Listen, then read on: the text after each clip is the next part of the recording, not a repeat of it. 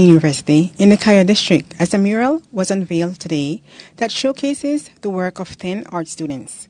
With little to no experience in art, these students were able to dabble with brushes and paint to produce this work of art that now sits in one of the university's classroom. Fernando Cruz is the art instructor who took pride in today's unveiling ceremony. And we started looking at the point of actually then taking and showing them how to prepare a wall because a wall cannot be dumped, it needs to be plastered, it needs to be primed, you know, but also to take a design and the way how to, to be able to grid it, to transpose it, to, to make it bigger also taking them through through drawing. Some of these some of these students have, have never picked up a pencil and drawn, but the idea was actually also to actually build confidence. You do, you, you just um, I mean the, the, the, the, class was not only about painting a wall, but we wanted to build their confidence. What I wanted to, do with them was to, was to build this this this thing within them to say, you know what, look, you can do it. And when I told them, I said, you know what, you guys will be painting a mural within two days. They never believed it. Murals can be found in many parts around the world. They are not only used for artistic expressions, but to convey messages. The Galen mural is more of a symbolic nature, however.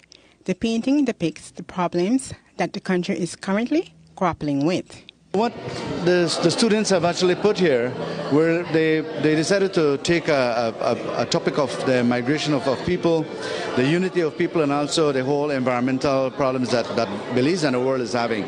So if we look at the, the side of the wall from, from left to right, we're looking at um, the image of a, of a woman but if you see the way she's painted, she's painted in, in, a, in, in, a, in, a, in a mixed dimension. Also, her, her hair is, is, is um, two, two different styles. It's actually just a representation of, of the, the multicultural aspect of, of Belize, but also of, of the world. This part of the wall itself is looking upon a point of, of migration and people moving for economic reasons, people moving for um, for um, the, the fare for their lives, people moving because they want a, a, better livelihood. The duende is depicted as a guy who protects the forest. So he is not one of the happiest guys whenever it comes down to deforestation. The concept of the spider monkey was put there because in reality the way how the spider monkey walks upon two legs and he also has only four fingers on each hand, that's probably why they're thinking that maybe some people think that they see the duende, but they actually see a spider. But actually, what they see is a spider monkey. The bill that they just passed concerning um, the ban on, on plastics, I think, is a is a beautiful thing because I think also, you know what, we we, we have to we have to look towards the towards the point that one of the biggest problems third world countries have is their love for plastics. Third world countries love plastics, and that and that has made third world countries the biggest polluters of of their own environment because of plastics. So that is what um, the, the students wanted to, to depict here, and, and, it's not only plastic bags, bags, it's plastic bottles, you know, it's, it's, it's, um, it's, it's tires. Everything seems to end up at, at the river, from there ends up to the sea.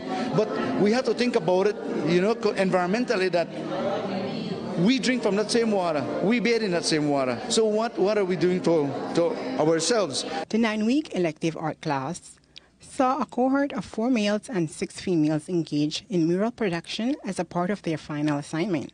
When it was all said and done, even they were astounded at the final production. The beginning of this semester uh, was very challenging because none of us in the class had experience when it comes to painting, drawing, and um, we were a bit excited about it because we found out we had an, an entire wall to paint, and um, some of us were a bit nervous as to how we would get this done.